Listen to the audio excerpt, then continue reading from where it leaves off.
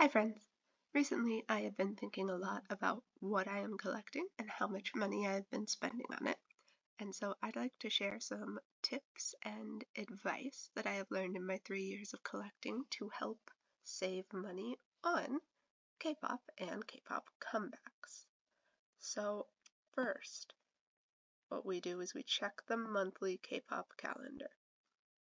And this is for like comebacks, for debuts, anything that you think that you will be spending money on. So I'm gonna go real quick, show you how I do this.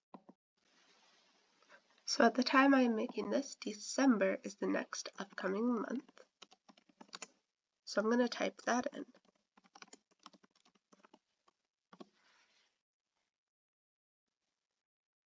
And you can see a bunch of different comeback schedules what I normally do is go to K-pop profiles and look through K-pop profiles here. However, this looks like 2022. So let's find the 2023 one.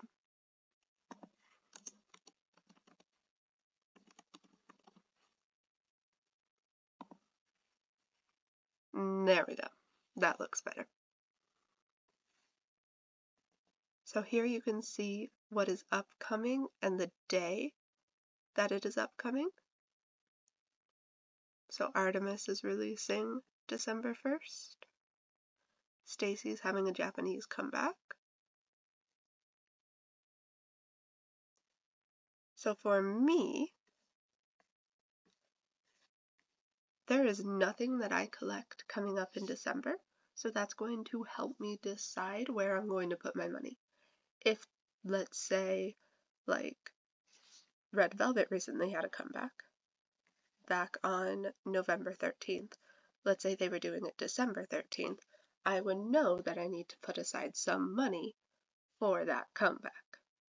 So knowing what's coming up is going to be really helpful when deciding where your money's going.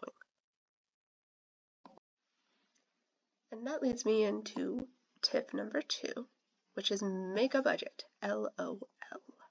Because obviously that's pretty, like, you would think, oh yeah, everybody knows that.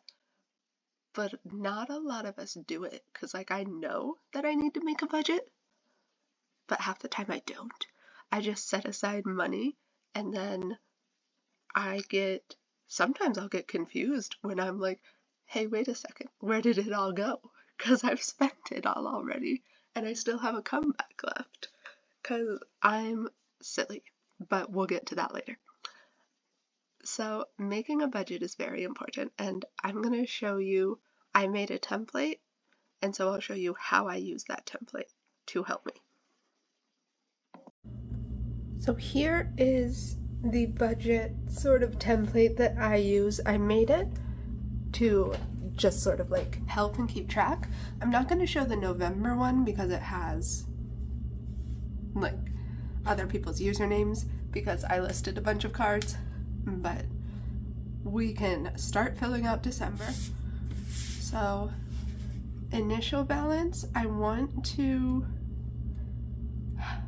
I always feel kind of weird talking about money because obviously I have more than some people and less than some people, and everybody's gonna have their own opinion on how much I spend on my K pop collection. So let's give out a random number. Let's say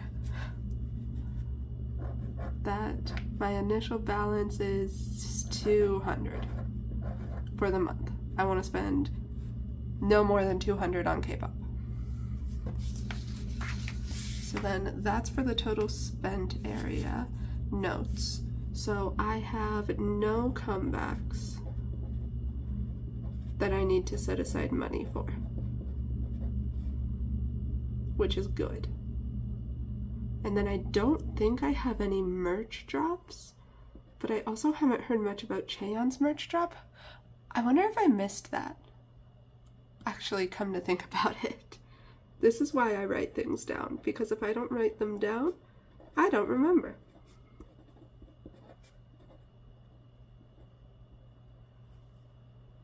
Okay. Moving into December haven't received. I don't think there's anything that has been lost yet. I've been making a lot of trades, so nothing's lost yet. But I know I'm gonna spend money on Seulgi for Red Velvet's comeback. I'm obviously gonna spend money on IZ*ONE. Who else am I gonna spend money on? I'm gonna spend money on Chuu, more than likely.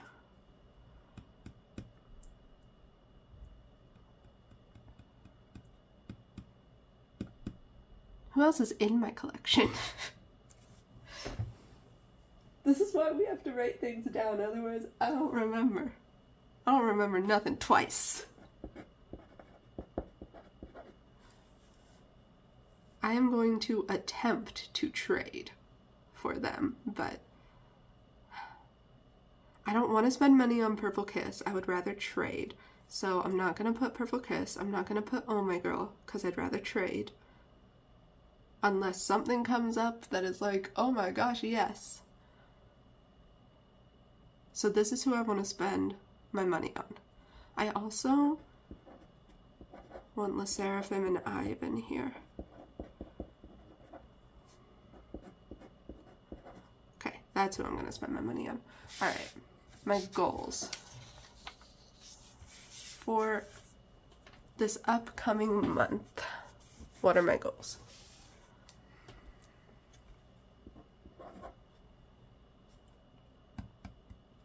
only spend on one, two, three, four, five, those six groups. So there's goal number one. Goal number two. Hmm.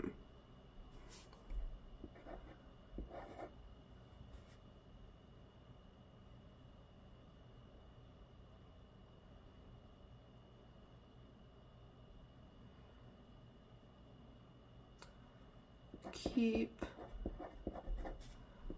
listing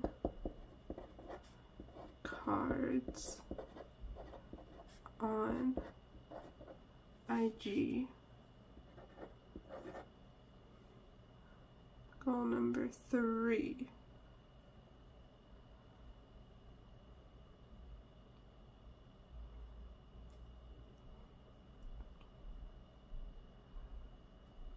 focus on RB slash chip. Alright, so that's my main focus. Those are my goals. We're going to keep this total spend low. And this is what we've got. And once December rolls around, I'll start filling that out and filling in to and from. Cool. I feel like it's just like a checkbook. but whatever. Alright. So this is how I keep track for tip number two. And there are plenty of templates out there for like budgeting and a bunch of stuff. I made this one specifically for K-pop if you have any ideas on how to make this better, feel free to let me know. Um, it is also in my Etsy shop if you are interested in it. But yeah, let's move on to number three.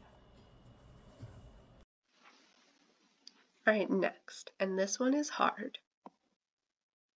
Only buy one copy of the full album. That's really hard, especially when lots of groups put out like so many different versions. So like Red Velvet that I brought up recently had like 14 or 19 different versions, something like that. And it's like you want, especially if you collect a member, it's like you want all of the member versions. But is that really going to help your collection? If yes, great, then set aside money for that. If no, think about buying copies if you want them secondhand. So it is so much fun to go out to the store and to buy member versions and to be like, oh, yeah, I want this. What did we have? Um, this Seulgi case version and this Seulgi S Mini version and this Seulgi poster version. But realistically, where are you going to put it? And like, are you going to listen to all those CDs? No, it's mainly just for the photo cards. So, only buying one copy is helpful for your wallet. If you want to support the groups, the best way is to buy more copies of their albums. So, making sure that you know ahead of time hey, I really want to support NCT 127. So I'm going to put aside money for more than one copy. Planning is going to get you everywhere when you want to save money. Which leads me to number four. Stay away from your local K-pop stores. And again, that's hard too. Because like half the time I'll go to Target for something and then I'll be like, oh, I should go check the K pop section. And then I go buy another copy of an album I already have when I could just get the photo card for six, seven dollars instead of spending a whole sixteen, seventeen dollars if it's like a digipack or twenty some dollars on another full album. So, not putting yourself in that situation is the best way to not do it. And, like, there are lots of people who I know don't have the same sort of like money situation that I did, where it is pretty easy to just not buy things because you don't have the money for it. Like, you have other things you have to do, bills you have to pay. But if you have more of a disposable income and you want to save money, stay away. Just stay away. That's the easiest way to not spend the extra money on stuff that you don't need. Number five. This seems like counterintuitive because sales are supposed to be things where like you spend less money, right? But anymore, sales are getting to the point to where they are tricking you into spending money on things that you wouldn't normally spend money on. So, like Black Friday, Target had a buy two get one free for all media. Well, walk in there being like, okay, cool. We'll buy two get one free on things. But you don't need anything. But the sale's going on and you want to take advantage of that sale. You want to get one for free. Well, it's not really buy one get one free. It's more a discount on all of them that you might not have even needed in the first place. Or like Pocamarket. Pocamarket had like a free shipping sale which is great, but they are always on a time frame. And so you have to spend, let's say you didn't even have anything like in your Pocamarket cart, and their free shipping sale ends in a week. Now you have to spend a bunch of money to get a bunch of photo cards, to get the free shipping, but then you also have to pay the fees you have to pay the shipping and handling fee. So you're spending a bunch of money that you might not have originally spent because it's on that time frame. And so these like free shipping sales or buy one get one free, a lot of times you wouldn't normally buy these things unless like normally except that it's a limited time offer. You have to do it within this certain amount of time, so now you're spending more money. You feel? So don't listen to the sales. The stuff will be there if you weren't originally planning on buying it. And all of a sudden they have a sale, and you're like, oh, well, I could probably swing this, I could put this in. No, you weren't going to buy it. Don't listen to them, they're just being silly. So, I know it seems counterintuitive, but don't listen to the sales. Now, the last one, and this is the biggest one for me, because I struggle with this one a lot. Maybe. Recognize the immediate gratification monster. She's fun. She's cute. You want to just hold her. You want to give her what she wants. But you have to recognize her. Because immediate gratification is how we spend all of that money. It is easier to, not easier, but a lot of the times it's like, oh, I could pull a photo card right now and it might be what I want.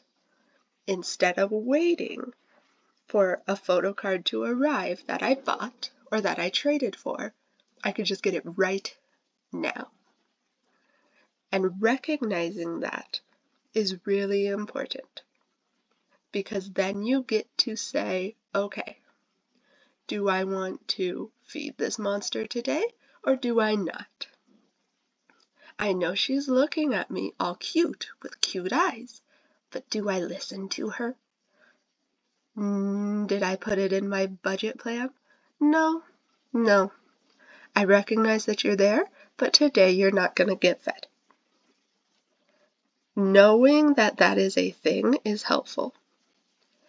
And if you don't go to the K-pop stores, then a lot of the times you won't even have to deal with your immediate gratification monster. But when you do, knowing that it's there is the first step to saying no to it. So, those are things that I have found helpful, and I hope you find helpful as well. They might not always help you, but knowing things like, okay, if I go to a store, I'm going to buy something. So I need to stay away from the stores. Knowing your spending habits is going to be the best way to help you save money on these K-pop comebacks. Knowing yourself and knowing what is coming. Thank you for watching. I hope these helped and I will see you in the next video. Bye!